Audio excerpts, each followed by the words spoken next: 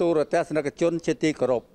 រដ្ឋបាលខេត្តព្រះសីហនុបានធ្វើយុទ្ធនាការផ្សព្វផ្សាយទីក្រុងស្អាតនិងឆ្នេរស្អាតដើម្បីបំផុសចលនាប្រជាពលរដ្ឋមហាជនឲ្យចូលរួមសម្អាតទីក្រុងនិងសម្អាតឆ្នេរដើម្បីតាក់ទាញវិស័យទេសចរនិងការអភិវឌ្ឍក្នុងខេត្តព្រះសីហនុផងនិងក៏ចូលរួមក្នុងចលនាប្រឡងប្រណាំងទីក្រុងស្អាតលើកទី3ផងដែរអាដាមគួចចម្រើនអភិបាលខេត្តព្រះសីហនុដែលអញ្ជើញជាអធិបតីនៅក្នុងយុទ្ធនាការផ្សព្វផ្សាយនេះ ដែលធ្វើឡើងនៅឆ្នេរអូជាទៀលនាព្រឹកថ្ងៃទី20ខែមេសាឆ្នាំ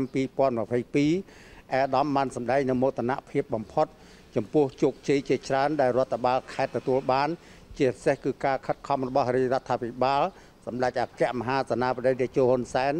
ដែលសម្ដេចបានយកចិត្តទុកដាក់ធ្វើការអភិវឌ្ឍនៅក្នុងខេត្តព្រះសីហនុក៏ដូចជាប្រទេសកម្ពុជាធ្វើឲ្យមានការអភិវឌ្ឍគ្រប់ហេដ្ឋារចនាសម្ព័ន្ធបម្រើឲ្យការងារអភិវឌ្ឍសង្គម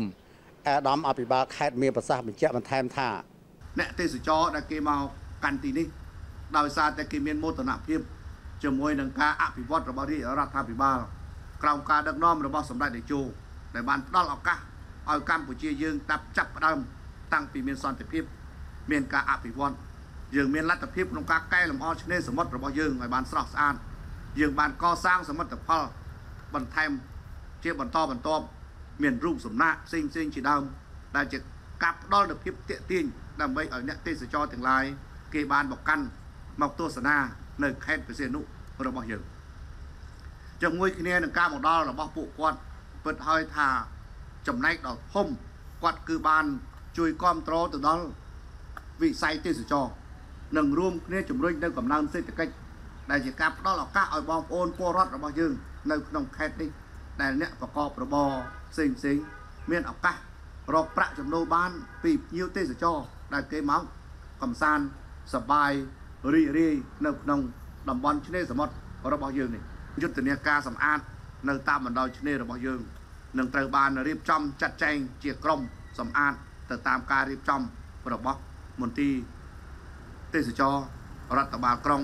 មន្ទីរបរិស្ថាននិងការចូលរួមពីអ្នកដែលមានការពាក់ព័ន្ធកំពុងមានវត្តមាននៅទីនេះ យើងនឹងបែងចែកគ្នាដើម្បីនឹងសម្អាតឆ្នេររបស់យើង វាជាមោទនភាពមួយរបស់យើងទាំងអស់គ្នា ដែលបានធ្វើឲ្យទីនេះមានភាពស្អាតបាត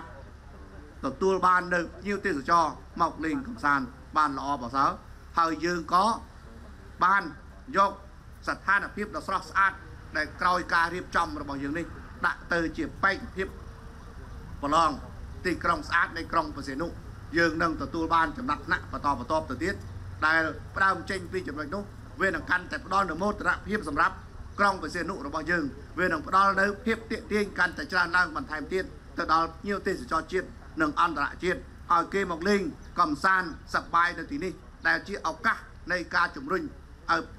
គ្រប់គ្រងទៅដល់វិស័យទេសចររួមគ្នាជំរុញនិងកំណើនសេដ្ឋកិច្ចដល់ឱកាសឲ្យបងប្អូនប្រជាពលរដ្ឋរបស់យើង មានការងារធ្វើមានប្រាក់ចំណូល មានបានរួមចំណែកในការលើកកម្ពស់ជីវភាពរស់នៅប្រចាំថ្ងៃរបស់ពួកគាត់នៅក្នុងក្រុងនិងខេត្តរបស់យើងបានល្អប្រសើរ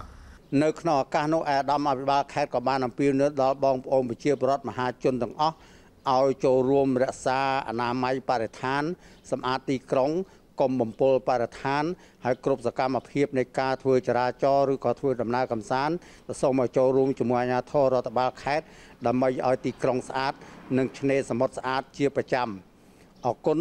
ខ្ញុំហ៊ុយបន្លេងភៀនអន្តរិកាពីខេត្តព្រះសីហនុ